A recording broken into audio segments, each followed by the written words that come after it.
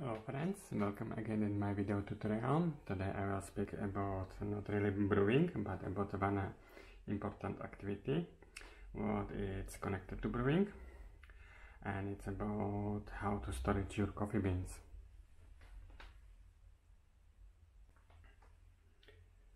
Um, freshness of coffee beans, uh, it's very important, uh, mainly for this coffee brewing and um, mainly for this first part, uh, what it's calling blooming.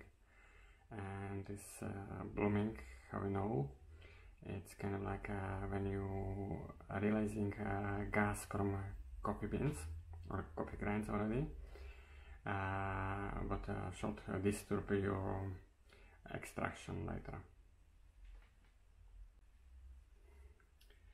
Um, it's important as well not only for um, this uh, brewing method but as well uh, for this one that if you taste coffee uh, alone taste yeah, what you can feel on your tongue. It's only 20% of uh, these flavors you can sense. And uh, nearly 80% of uh, this what you can sense it's not uh, really taste but it's aroma and if you're missing uh, aroma in uh, coffee you have like a less tasty coffee. Uh, there are other uh, senses and other factors uh, they influence your feelings and tasting from coffee. But aroma is one of the most important. And uh, aroma is connected to freshness of coffee beans with this that if you open coffee bag uh, inside get air. And air or oxide it's uh, kind of like anomis for this aroma.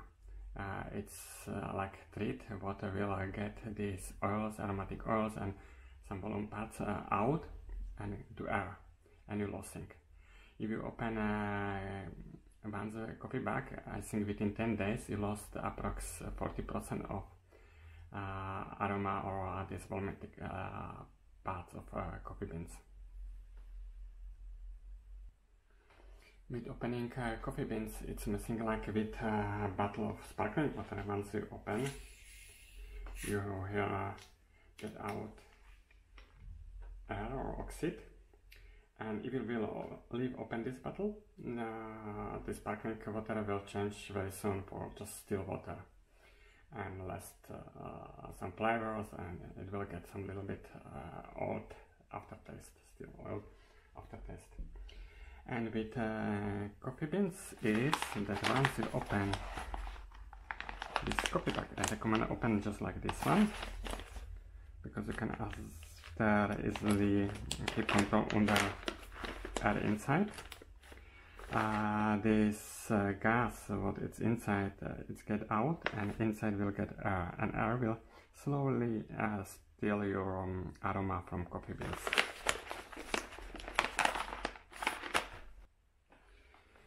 My recommendation is uh, don't put to any glass tank or don't put to fridge. I don't think so that it's a good idea. Uh, that it's not problem this that you cannot guarantee that if you will close properly that you will get some moisture inside.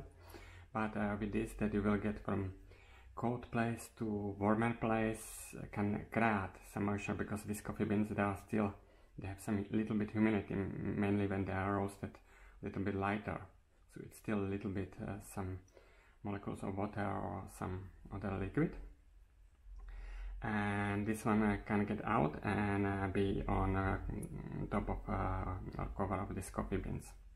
And it will be not good for freshness for temperature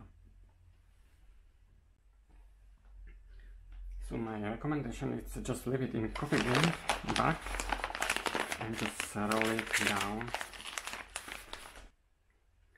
And you can use some elastic material to keep like that it's minimum there.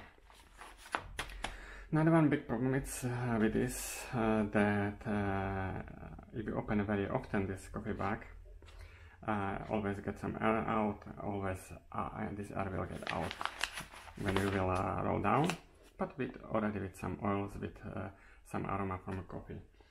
So my recommendation is maybe have some small bags or smaller bag, the best is with this ventile. And uh, when you open a coffee bean bag, just add there maybe coffee for two three days. Uh, you don't lose too much, and after uh, repeat again. I don't know what is your periodic of using. After for uh, storage and for keeping in back uh, you can use some disc clips or whatever you will find at home. I using as well like this that I will put a cap when I don't have any elastic material or for tight. Or you can, if you have more coffee beans together, I use one elastic material I, I do together.